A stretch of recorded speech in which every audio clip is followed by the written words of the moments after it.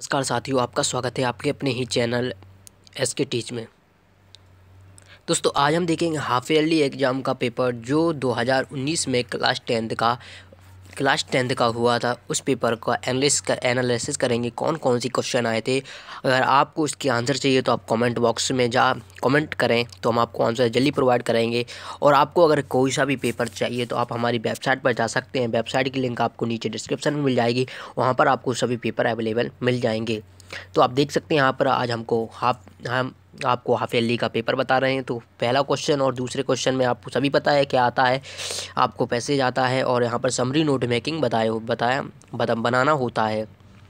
चलिए बात करें यहाँ पर चौथे क्वेश्चन में इसमें जो आपको एप्लीकेशन लिखनी थी वो principal requesting him to grant you three days leave because you are sick तो आपको यहाँ पर छुट्टी की एप्लीकेशन लिखनी थी आप सभी आसानी से कर दिए होंगे। इसके बाद क्वेश्चन पाँच की बात करें यहाँ पर आपको इसमें आपको पाँचवें नंबर पर यहाँ पर आपको नोट मेकिंग समरी आपको बताना है। ठीक है दोस्तों? यहाँ पर दो आपको दिए गए हैं, तीन। एक, दो, तीन। इसमें से आपको आंसर छाटना है। ठीक है दोस्तों? चलिए, अब देख लें क्वेश्चन नंबर छः तो आपको एक पैराग्राफ पे क्या लिखना है?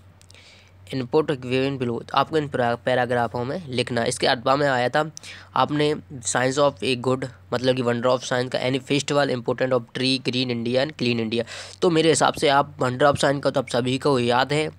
एक ग्रीन इंडिया क्लीन इंडिया का आप ज़रूर याद कर लें क्योंकि आप क्लास एलेवेंथ में आएँगे, इसके बाद आप ट्वेल्थ में भी आएँगे तो आप के लिए बेनिफिट रहेगा और एक आप गेम्स एंड स्पोर्ट का भी याद कर लें।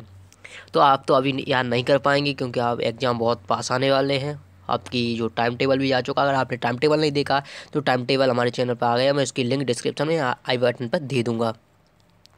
तो आप देख सकते हैं यहाँ पर ये ए एंदा का प्रयोग मतलब कि आर्टिकल हैं। फिल इन द ब्लैंक्स आपको भरना है तो रीडिंग आ जाएगा इसमें। Reading is an a good habit the match the match या उसका हो जाएगा द मैच ठीक है दोस्तों, द मैच इसका आपको बताना है। Yamini decided to go alone.